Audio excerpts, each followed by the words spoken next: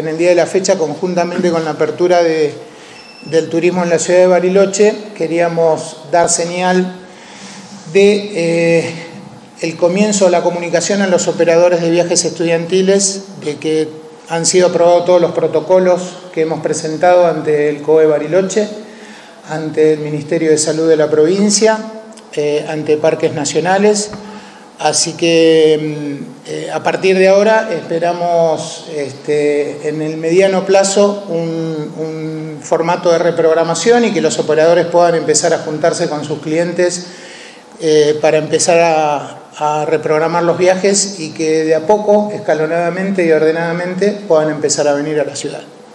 Nosotros estimamos que hasta que se empiecen a armar las reuniones, porque eh, digamos todos los operadores lo que estaban esperando es eh, la aprobación de los protocolos y la apertura del turismo. Entonces, de aquí en más hay que empezar a reprogramar. Ellos por, por ley tienen que informarle a sus clientes la apertura, eh, ver con ellos las posibilidades de todos los pasajeros de conformar una fecha específica. Así que nosotros estimamos que diciembre va a ser un mes de muy bajo volumen de operación, para fin de mes quizás empiecen los primeros grupos y enero es, probable que tengamos mayor eh, volumen de, pasajeros. ¿Hay una cantidad de, de pasajeros que van a venir? ¿Se sabe? si es un grupo de 30, 20, 50. No, no lo tenemos confirmado porque en función a esto, a esta comunicación y a esta apertura, ahí los operadores empiezan a sentarse con los grupos. Convengamos que teníamos aproximadamente entre 90 y 100 mil pasajeros para este año, eh, de ahí hubo una caída por eh,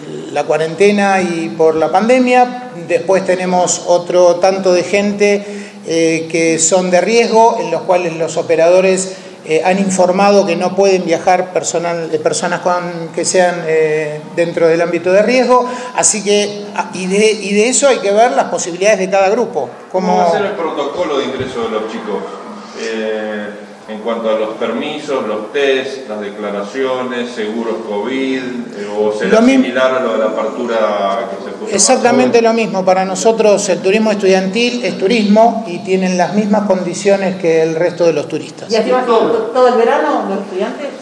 Sí, sí, la idea es hasta, hasta que podamos, nosotros pensamos que esta ventana que se está abriendo hoy este, nos da posibilidad de poder brindar el viaje a un determinado número de pasajeros hasta finales de marzo.